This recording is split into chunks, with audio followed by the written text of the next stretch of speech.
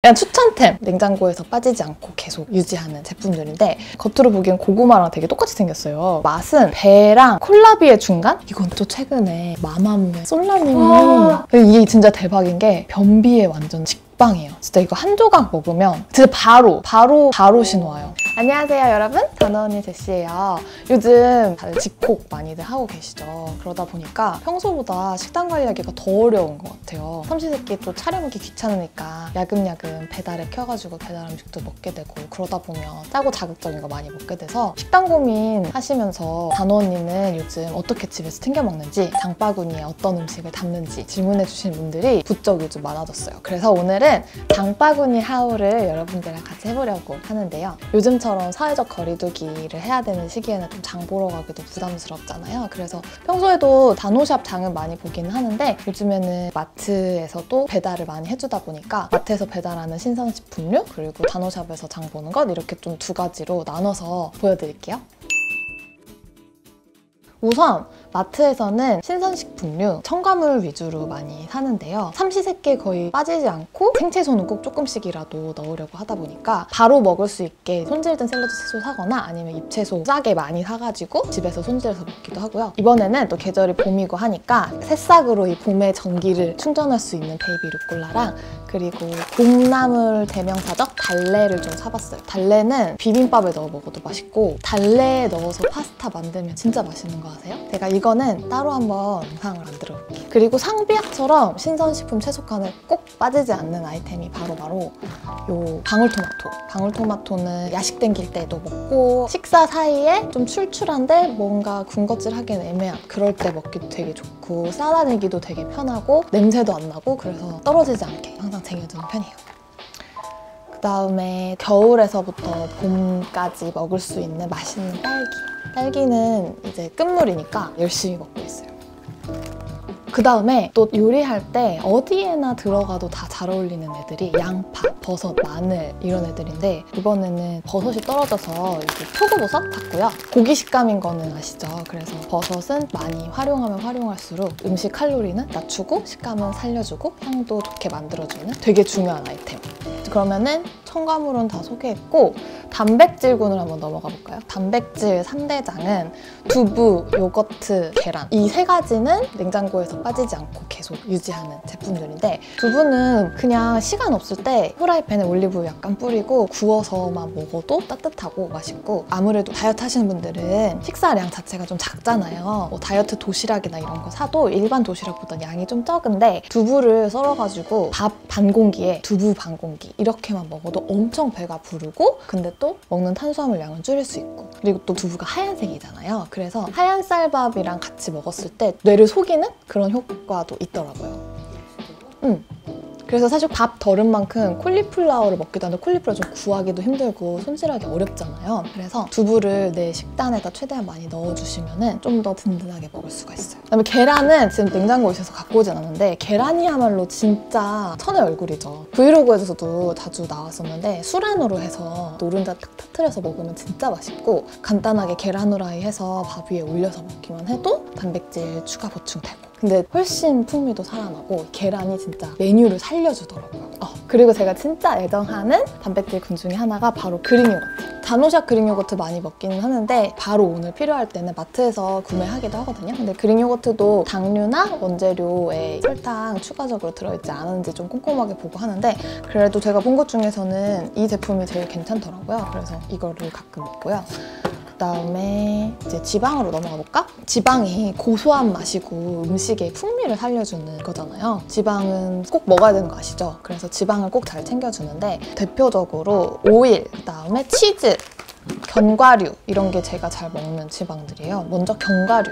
견과류는 이렇게 소분이 되어 있는 제품을 먹기도 하고 저는 견과류 먹을 때 건포도나 막 건 블루베리, 크랜베리 이런 거가 같이 씹히는 게 별로 그렇게 좋지가 않더라고요. 그리고 그런 제품들이 같이 들어있으면 견과류가 더 눅눅해지는 느낌? 그래서 견과류만 들어있는 제품으로 사요. 그래서 이게 아몬드, 캐슈넛, 헤이즐넛, 마카다미아, 브라질넛, 피칸 이렇게 들어있는 거라서 이게 제일 비율이 제 마음에 딱 들더라고요. 그래서 이거 많이 먹는 편이고 특히 이 중에서도 제가 캐슈넛을 너무 좋아해가지고 캐슈넛은 따로 이렇게 대용량 팩으로 사가지고 이렇게 통에다가 담아놓고 자주 먹고는 합니다.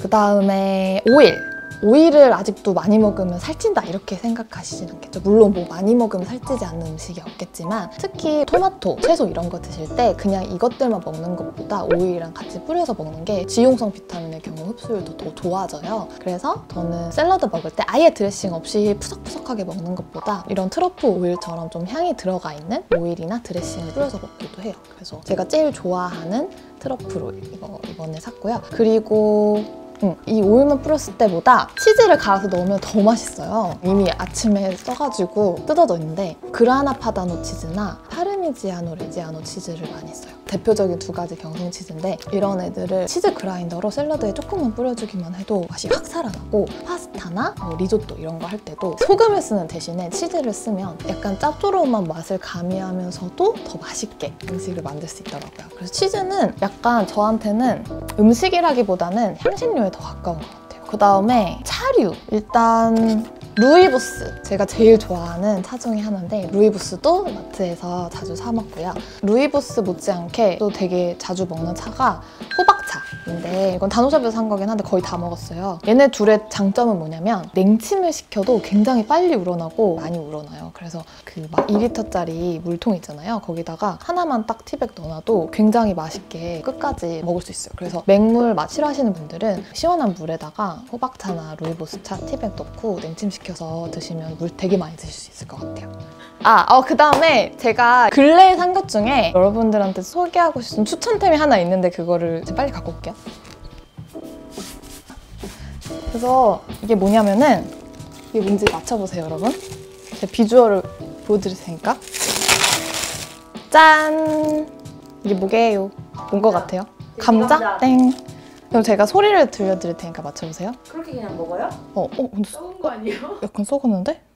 이게 요즘에 제가 되게 꽂혀있는 작물인데 야콘이라는 식물인데요. 겉으로 보기엔 고구마랑 되게 똑같이 생겼어요. 그래서 어, 고구마인가 했는데 맛은 배랑 콜라비의 중간? 그래서 이게 과당이 되게 낮아서 당뇨 환자들한테 되게 추천하는 음식이래요. 과일은 또 많이 먹으면 좀 부담스럽잖아요. 달다 보니까. 근데 얘는 되게 아삭아삭하면서 배처럼 먹을 수 있는데 배보단 좀 덜 달고 약간 시원해서 요즘에 입 심심할 때 자주 이렇게 깎아놓고 먹어요. 아! 이게 진짜 대박인 게 변비에 완전 직방이에요. 진짜 이거 한 조각 먹으면 어 진짜 대박. 진짜 바로 바로 바로 신호 와요. 바로.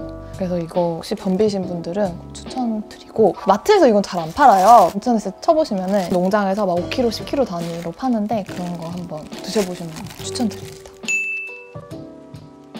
그 다음에 다노샵에서 장본 것들 리스트인데요. 아침에 먹는 거, 그 다음에 끼니 대용으로 먹는 거, 간식으로 먹는 거 이렇게 좀 나눠서 소개를 해드릴게요. 일단 브이로그에도 진짜 자주 나왔던 이 아이 플라하반 quick 오트밀인데 오트밀이 귀리를 압착해서 만든 거잖아요. 근데 이걸 어떻게 압착하냐에 따라서 좀 종류가 되게 달라요. 딱딱한 게 있고 되게 부드럽게 먹기 좋게 압착한 게 있고 얘는 quick oat라고 해가지고 사실 전자레인지를 돌려서 좀 불리거나 아니면 overnight 오트밀로 만들어야 오트밀이 좀 질긴 게 말랑말랑해지고 죽처럼 되는데 얘 같은 경우는 되게 부드럽게 귀리가 가공이 돼가지고 그냥 밥공기에다가 두 스푼 정도 넣고 싱콩두유 한 팩이나 저지방 우유 한 팩 이렇게 넣으면은 5분만 있으면은 이게 금방 부드럽게 죽처럼 돼요. 왜 오트밀 따뜻하게 먹고 싶을 때도 있지만 시원하게 그냥 먹고 싶을 때도 있잖아요. 그럴 때 이게 되게 좋더라고요. 시간 없을 때 바로 불리기 되게 좋아서.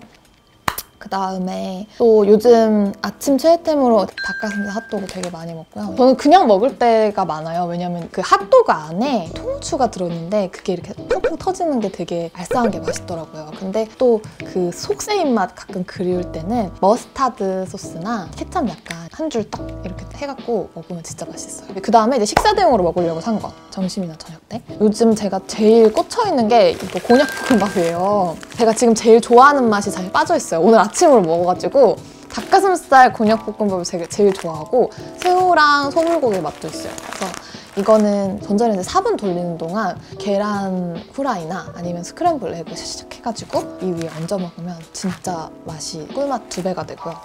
광고는 아니에요. 이거 그냥 우리, 우리 회사가 만들었지만 그냥 내가 추천하는 추천템 아. 개인적으로. 그리고 그냥 밥도 먹을 때 많잖아요. 그래서 이건 그 현미 렌티코 곤약밥? 이건 또 최근에 마마무의 솔라님이 브이로그에서 이거를 드시더라고요. 이거랑 단어 닭고기랑 그래가지고 저희 너무 완전 어 솔라님 사랑합니다. 아, 나, 나 진짜 좋아한단 말이야, 마마무. 나, 나 마마무 일집 때부터 좋아했어, 초창기 때부터. 어, 그 다음에 또 바쁠 때 좀 간단히 식사 대용으로 먹는 거는 요즘에는 곤약만두 또 불닭 맛이 새로 나와가지고 이번에 저는 처음 시켜봤어요. 곤약만두가 집에 많았어가지고 최근에 다 먹어서 불닭만두 먹었는데 이거는 우리 디자인 팀장님이 그렇게 맨날 이것만 먹더라고. 아닌가? 이거 이것만 먹는 사람 있었는데? 회사에서 저녁마다 집에 안 가고 거기 1층에 앉아서 이걸 맨날 먹는 사람이 있어. 아, 누구지? 이게 너무 맛있대요. 이게 좀 이렇게 이렇게, 이렇게 감칠맛이 이렇게 감돌. 엄청 쫄깃해. 네. 뭐 하여튼. 그냥 달기만 한 맛이 아니라고 하더라고요. 그래서 되게 기대를 하고 있어요. 네. 그 다음에 이거는 밥 반찬으로도 먹고 샐러드 위에도 뿌려 먹고 그냥 이것만 돌려가지고 이렇게 먹기도 하고 엄청 활용도가 좋은 미니볼 입니다. 그리고 최근에 우리 맥모닝 만들지 않았나? 그렇게 패티 대신 어, 패티 대신 먹어도 맛있고 잘게 잘라가지고 오뎅 대신 활용을 해도 좋고 너무너무 활용도가 좋은 필수템입니다. 그리고 가방에 간단히 넣어가지고 다니면서 시시때때로 출출할 때마다 꺼내 먹는 간식류. 간식류는 일단 마실 거는 심쿵두유, 달콩두유도 좋아하는데 이번에 심쿵두유 업그레이드 되면서 좀 맛이 더 부드러워져가지고 이제는 달콩두유보다 심쿵두유가 더 땡기더라고요. 그래서 심쿵두유 많이 먹는 편이고 진짜 괜찮았어요, 여러분. 한 번만 믿고 먹어보세요. 광고는 아니에요. 어, 홈쇼핑 느낌 아닌데 장바구니 haul해야 돼. 아 근데 진짜 싱콩두유 맛 괜찮죠? 괜찮아졌죠? 어. 저도 예전에는 약간 그 콩비린 맛이 이제 1% 정도 있었는데 그거를 딱 잡았어요. 종이팩이 되면서 장비를 바꿨거든요. 그래서 그 네, 그래서 콩 맛을 더 세세하게 쪼갤 수가 있어졌대요. 그래서 맛이 좀 부드러워지고 식감도 좀 더 silky해진 그런 두유가 됐고 그리고 우리가 이제 너무 몸에 싱거운 것만 주면은 막 화가 나잖아요. 좀 단 것도 같이 먹고 이제 싱거, 짠 거, 싱거운 걸 밸런스를 맞춰야겠죠? 그래서 저 이거랑 제일 잘 어울리는 게 브라우니, 프로틴 브라우니. 그래서 이 두 개는 마치 카페 가서 아메리카노랑 티라미수 케이크 같이 먹을 때 그 맛 아시죠? 쌉쌀한 거 먹다가 단 거 먹었을 때 그 쾌감. 약간 그게 있어요. 그래서 이렇게 두 개를 아침으로 먹기도 하고 간식 용으로 먹기도 합니다.